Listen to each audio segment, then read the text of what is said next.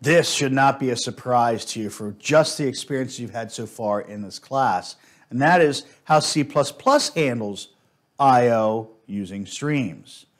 When we're doing our istream, we're getting characters from some type of input source that's then being thrown into a buffer. So again, some input source could be a file, keyboard, something of that nature. It's being put into a buffer. The istream is then going to turn those characters into the various types. And notice, by the way, I did say characters.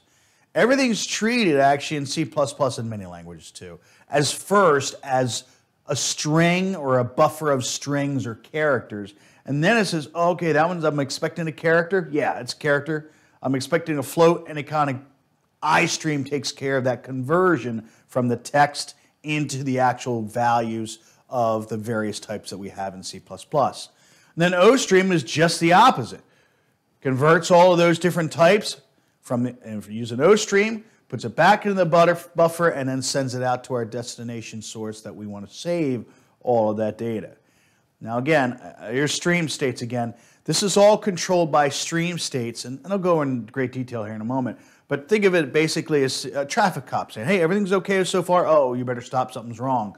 That's what we'll discuss when we get into stream states. But again, this should not be a surprise, especially with your cins and couts and what you've had to do with that before. So no surprise on this on this page.